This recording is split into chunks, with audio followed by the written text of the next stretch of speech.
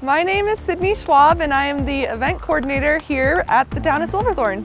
Silverthorne's kind of undergoing a constant transformation right now. We're really excited about all these new developments. For example, the Silverthorne Performing Arts Center that we have behind us here. The Silverthorne Performing Arts Center is really a physical representation of where art meets adventure and kind of the cultural hub here in Summit County. We have adventure here at the Blue River in the background and then we have tons of cool shows and art and performances going on at the new Performing Arts Center.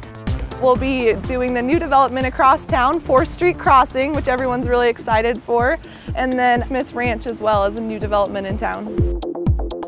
First Fridays are a chance for our community to come together and kind of build our community through these diverse social offerings that we have here in Silverthorne the first Friday of every month. We've had a rail jam out here on the lawn, an art festival, a beer festival. We have lots of good live music coming up and really the first Fridays are a chance for our community to come together and enjoy what makes our community special. First Fridays don't stop this fall. They'll be going on through October, November, and into the winter, the first Friday of every month. While you're in Silverthorne, keep your eyes peeled for some temporary art installations around town on some concrete surfaces. Take a photo of it and hashtag Silverthorne Art Hunt for a chance to win some prizes. Be a part of the fun in the community here in Silverthorne and keep up with us at silverthorne.org.